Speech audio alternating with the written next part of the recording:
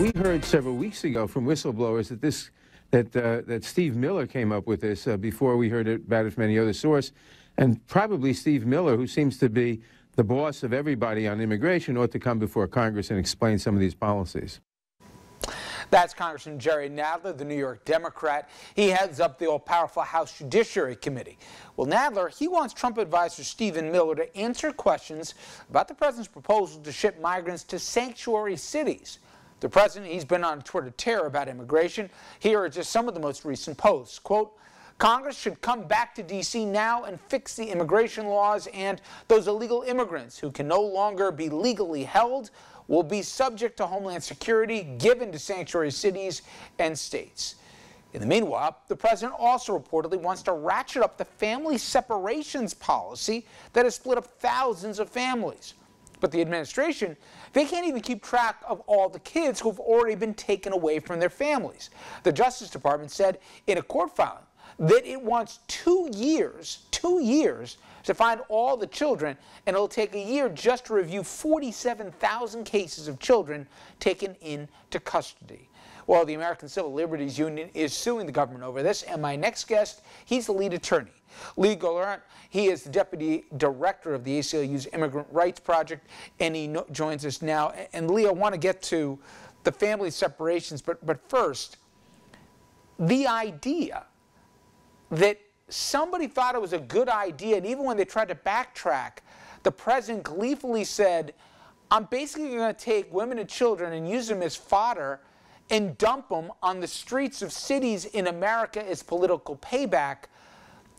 You couldn't make that up if you tried. This is like, you know, straight out of an Oliver Twist. I, I, I can't believe it until I heard him say it three times. Yeah, well, hopefully it's not going to actually happen because it's unlawful and it's bad policy. I mean, these are human beings we're talking about. The, the other thing that I think, critical to understand is that these so called sanctuary cities, they do not refuse to turn over immigrants who have serious crimes. They're simply saying, comply with the law and get a warrant like you always do. And so all the federal government has to do if they want these immigrants is to get a warrant from a court.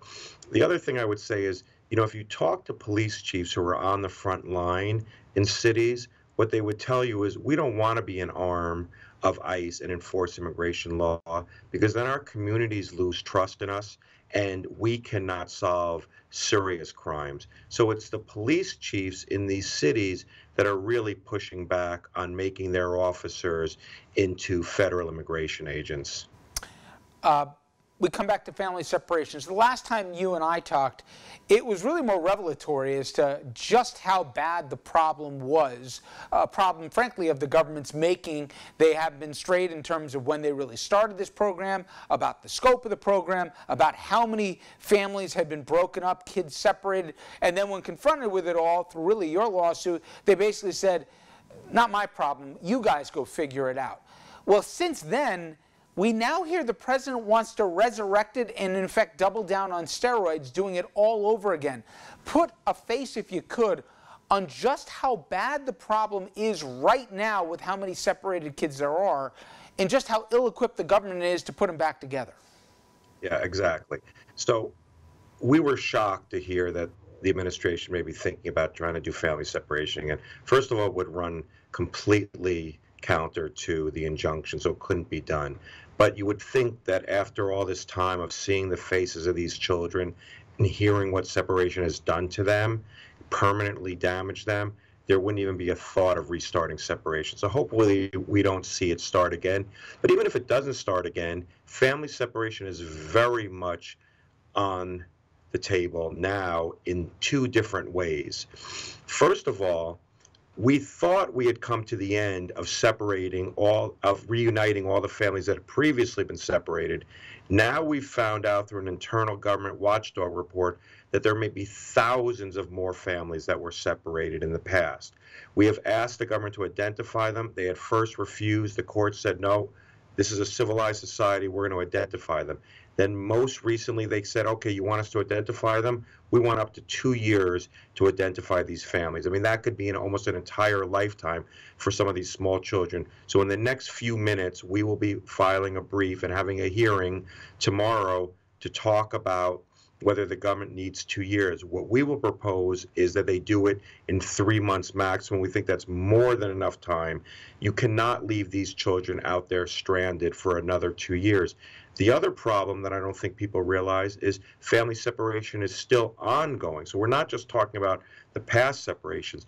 They are continuing by their own admission to separate children. But now what they've done is try and find a loophole. They've said, okay, we know the court said you can't just separate for no reason. Now we're going to separate whenever we think the parent might be a danger to the child. But what they're doing, we've just found out, is unilaterally declaring the parent the danger without giving the parent the chance to fight that. And so we've thought, okay, well, these must be very serious crimes if they're separating the parent from the child. Then we find out it may be because the parent had a DUI or drove without a license 10 years ago or some nonviolent theft crimes that would never warrant taking your child away. And so now we have to fight these future separations. We're going to be going to court and saying the government has to provide us with this information immediately, and there has to be a process for pushing back. We cannot have families separated because of traffic violations. Uh, I went down to the border uh, since our last conversation, Lee, on both the San Diego and the Tijuana side. And I got to see for myself. Uh, I did not see, as the president described, UFC fighters waiting to come into the border. But that all said, have you found in dealing with this and in through your discovery that it's ineptness or indifference that they've separated so many families and really haven't been overly motivated to put them back together? That's a very good question. I, I think it's uh, both. I think what we found is that they wanted to separate these children. They wanted to do this cruel thing, and they just didn't think about reunifying. They didn't think it through. And then when they started to realize, well, maybe we're going to have to reunify, there was an element of we don't really even know how to do it. I mean, it, it's shocking. that. The fact that they would separate the kids is, of course, the most shocking. But I think the judge was right to also focus on the fact that they never really had any system for bringing the children back together with their parents. I don't actually even know what they thought was going to happen. They certainly didn't want to have these children as wards of the state when they started deporting the parents, but yet that's what the result was. So that's why we had to go to Guatemala. We've been to Honduras, El Salvador, looking for these parents. What I'm afraid of is that there are there are thousands more that were separated, that most of those parents have been deported and their kids are here, and we're going to be undertaking the same type of thing where we're going to be searching for these parents all over Central America, maybe all over the world.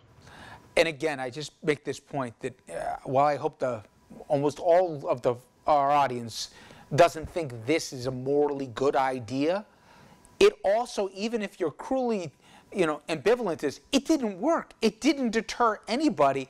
And the idea to go back to it after the exposure about this flawed policy to me is beyond the bizarre. But anyway, Lee, uh, I appreciate the time as always. And, and again, we'll keep following up as to the progress you guys make in your suit. Thank you again for the time. Thank you for having me.